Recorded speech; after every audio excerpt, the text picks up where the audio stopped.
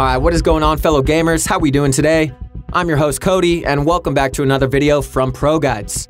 Lately in Fortnite, with the lack of major competitive events, the giant uncertainty regarding what's coming next for competitive, most players have been sticking to creative in order to keep their skills sharp and strengthen their mechanics during this sort of downtime. And almost everyone loves to do build battles in creative, am I right?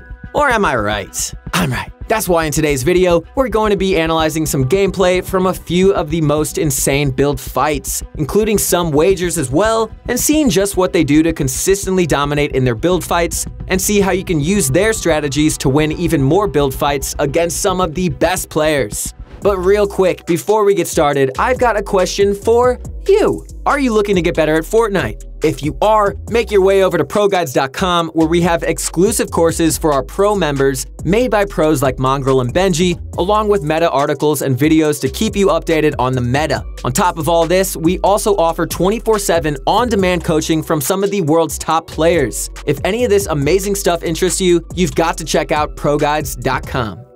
Last thing before we get into this amazing video, let's do today's question of the day. Ooh, my favorite time of the day. Today's question is, who do you think is the best builder in Fortnite? I'm waiting, I'm waiting. If you said Bob, I mean, you'd be kinda right. But personally, I think Bugha is the best overall builder, since he's not only got good speed, but his moves are always so calculated and smart. But Parallel Psycho easily takes the cake in terms of pure speed. That dude is pretty ridiculous. Let me know in the comments what you think. I'm really curious to hear who you all think the best builder is. But anyway, without further ado, let's start off the video by looking at a super underrated wagerer who goes by the name Plalism. I've actually been personally watching Plalism streams for a while, and boy, can I tell you, he is absolutely insane. To start off, he consistently goes like 200 and 0 in build fights, only losing to a few of the world's top pros, and you can argue that they even got lucky beating him, but you know, take that to the peanut gallery, I'm not saying anything. Also, these build fights aren't your basic build fights with friends either. These are actually wagers, where there's real money on the line. That is just insane. Anyway, let's start by looking at one of his build fights against another wager player and see how he manages to come out with the win.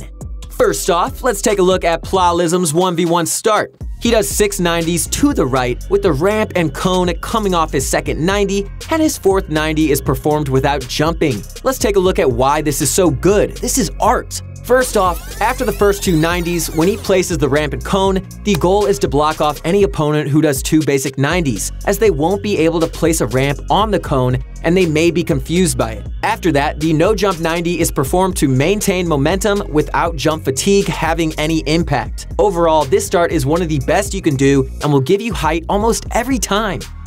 Now that he's holding high ground, Plalism immediately begins to put pressure on his opponent. Under pressure! By simply spraying his AR and tracking his opponent through builds to find the optimal area to shoot at. He sees his opponent trying to break him down with the classic spam floors and cones to break down trick that players use. But he already has the floor and ramp above the player, so he edits down for a quick 70 damage. Not much can be said about this apart from the importance of knowing where your opponent is and how you can take advantage of their position. From here, he continues to hold this high ground position, which is absolutely crucial, and quickly edits down when he hears his opponent running away. If you hear your opponent going away from you, that essentially means their head is turned, making them completely vulnerable from the back.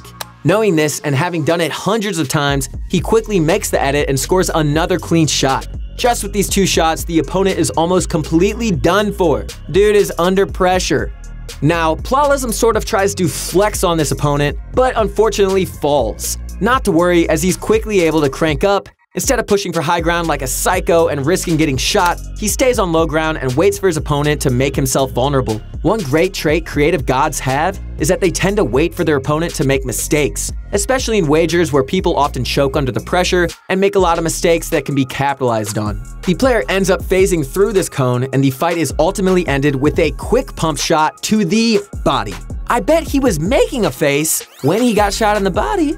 But uh, let's just look at the second fight from this same wager and see how he cleans up the kills super fast.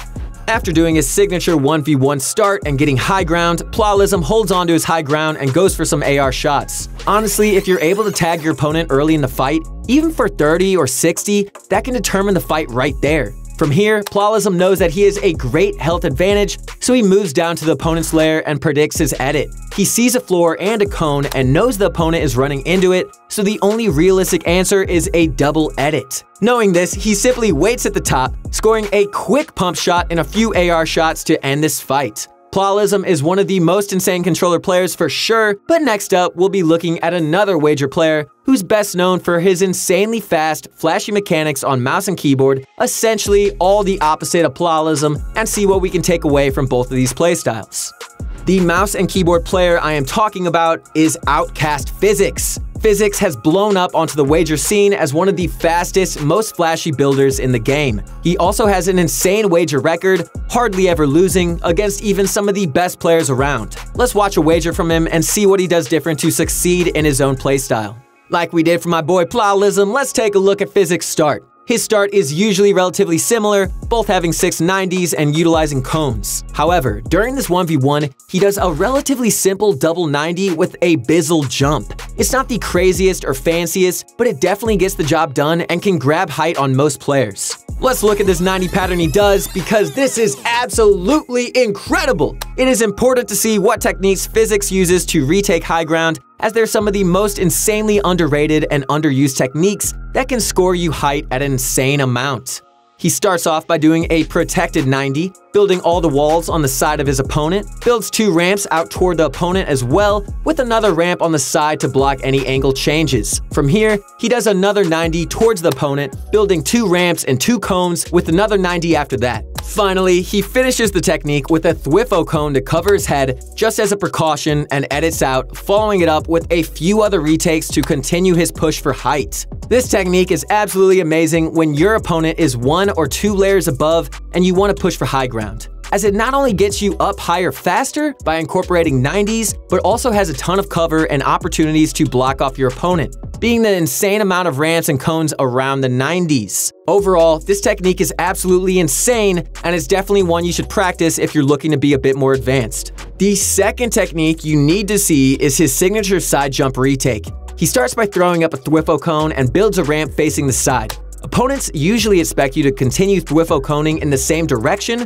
so this can often throw them off quite a bit. From here, he builds a wall up on top of the cone to cover his side jump and jumps off to the side, catches himself with a floor and ramp, and continues to 90 up from there.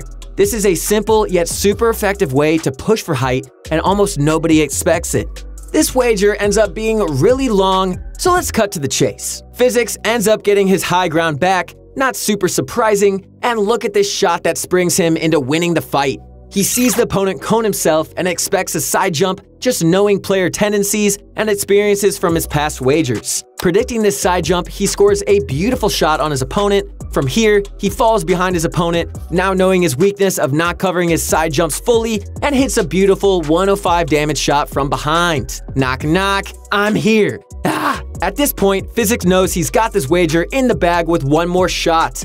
From this point, with his opponent panicking on low health and the high ground advantage, Physics cleans up the kill easily with another pump shot. Now that we've gone over some fights from both Plalism and Physics, let's do a recap and organize this into something we can all understand. Capiche, capash, we're getting it together right here.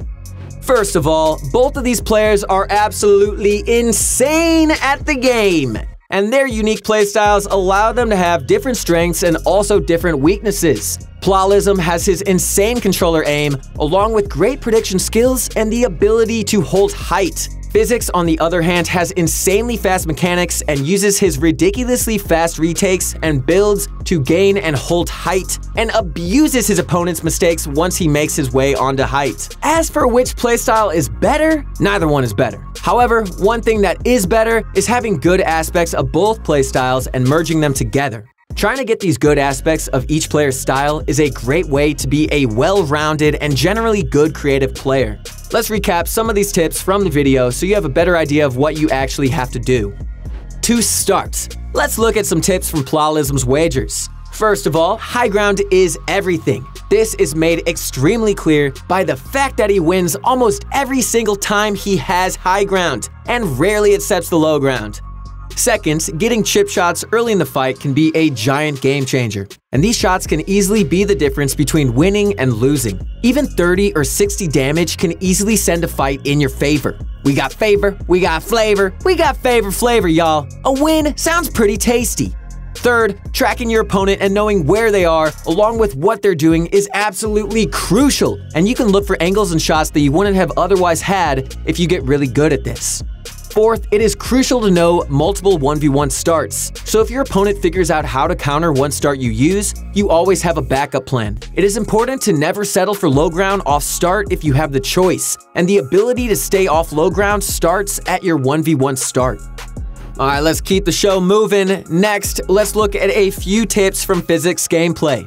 First off, Physics has this insane ability to pull off some of the most effective high ground retakes with ease. Practicing his two heavily used retakes, the Protected 90 retake and his signature side jump retake, will help you push for high ground if you're ever in the situation where you lose it. Second, knowing how to predict your opponent's next move is an amazing ability, and we can see how much it helps Physics in his wager as he's able to score tons of damage simply by knowing his opponent's plan. You're an evil mastermind! How do you know my plans? These plans were top secret.